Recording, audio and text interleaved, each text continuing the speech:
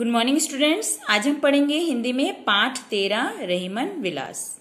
तो यहाँ रहीम दास जी के द्वारा लिखे हुए दोहे दिए गए हैं।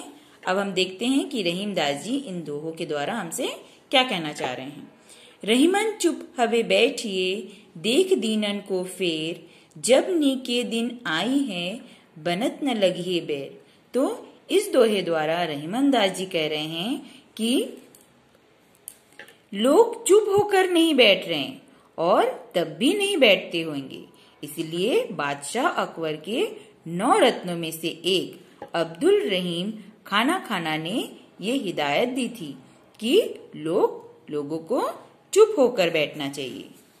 दूसरे दोहे में रहीमदास जी क्या कह रहे हैं? जो रहीम उत्तम प्रकृति, का करी सकत कुसंग, चंदन विष व्यापत नहीं, लिपटे रहत भुजंग। तो इस दोहे में रहीमदास जी कह रहे हैं, अच्छे व्यवहार वाले व्यक्तियों पर बुरी संगति वाले व्यक्तियों का असर नहीं होता। जिस प्रकार चंदन के वृक्ष पर सांप लिपटे होने पर भी वृक्ष पर विष का कोई प्रभाव नहीं पड़ता। सांप में क्या होता है? विष होता है। लेकिन वह चंदन के पेड़ पर कितना ही लिपटा रहे, चंदन के पेड़ पर उसका कोई भी प्रभाव नहीं पड़ता। उसी प्रकार अच्छे व्यवहार वाले व्यक्तियों के व्यवहार में बुरी संगति के व्यवहार वाले व्यक्तियों का कोई प्रभाव नहीं पड़ता। अगले दोहे में रहीमदास जी कह रहे हैं, जो रहीम सुख होत है, उपकारी के अंग बाटन वारे को लगे जयो मेहंदी के रंग। तो इस दोहे में रहीमदास जी कह रहे हैं, दूसरों की भलाई करने वाला उसी प्रकार से सुखी होता है, जैसे दूसरों के हाथों पर मेहंदी लगाने वाले की उंगलियाँ खुद भी मेहंदी में रंग जाती है। जो दूसरों व्यक्ति दूसरे व्यक्तियों की सहायता करता है, वह भी सुखी होता है। इसीलिए दूसरों की मदद अथवा परोपकार का बहुत ही अधिक महत्व होता है। रहीमन देख बड़ेन को, लघु न दीजिए डारी, जहाँ काम आवे सुई कहाँ करी तरवारी।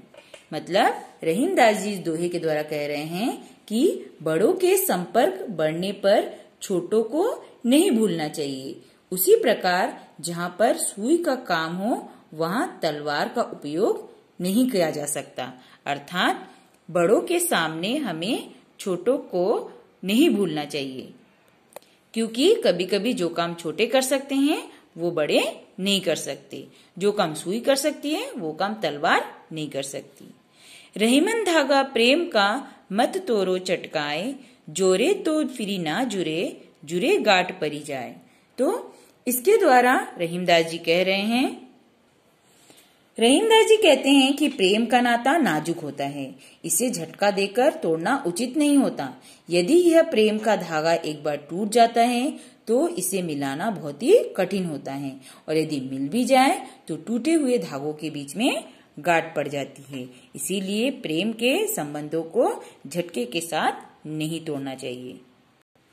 तो आज हमने रहीमन विलास में रहीम दास जी द्वारा लिखे हुए दोहों को पढ़ा और समझा। आज आपको इन दोहों को कम से कम दो बार रीड करना है। और नेक्स्ट पीरियड में हम इसके प्रश्न उत्तर लिखेंगे।